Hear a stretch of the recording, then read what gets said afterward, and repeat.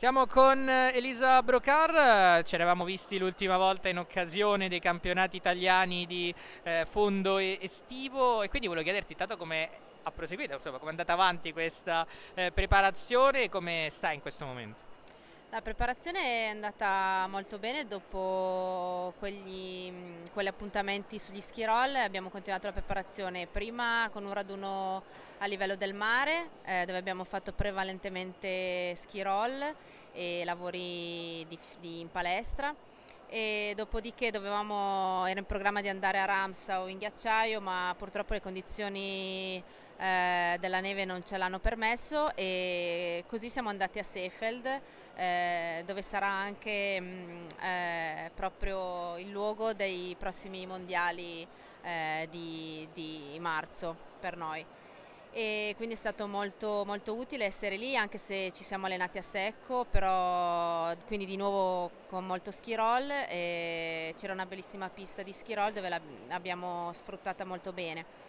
E dopodiché siamo arrivati finalmente sulla neve a Livigno la scorsa settimana dove inizialmente c'era solo neve eh, dello snow farming quindi eh, neve preparata e tenuta da parte dell'anno prima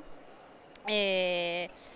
infatti grazie a Livigno che ci ha permesso eh, di, di, fare questo, questo anello eh, con tantissimi volontari, eh, tantissimo lavoro perché le giornate erano anche molto calde e quindi non è stato facile. E poi verso la fine è arrivata finalmente la, la neve, quella, quella vera, anche se era un po' bagnata però ci ha permesso di finire mm, molto bene il raduno dove abbiamo iniziato a fare appunto dei lavori di qualità, quindi dei test eh, sulla neve e, mm, e niente, adesso ci stiamo avvicinando sempre di più alle prime gare, è importante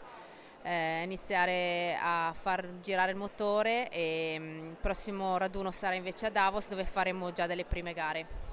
No, peraltro possiamo dire, proprio, è nevicato proprio nei giorni del tuo compleanno, quindi attorno al tuo compleanno, quindi un regalo migliore penso per una, per una fondista non potesse essere.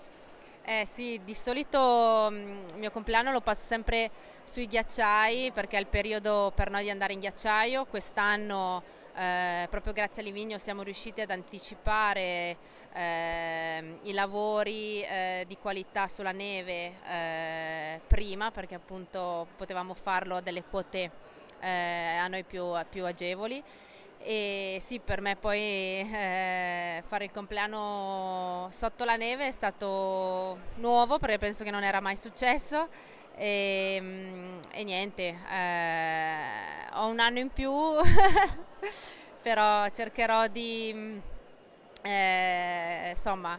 eh, di tramutarlo in esperienza più che in eh, vecchiaia, ecco.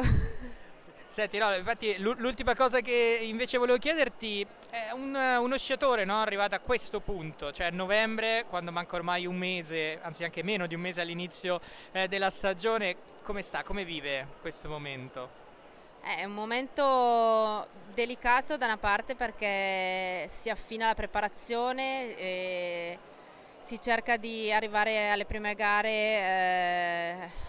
mm, cercando di mettere a punto ogni minimo particolare per essere eh, in forma e pronto al,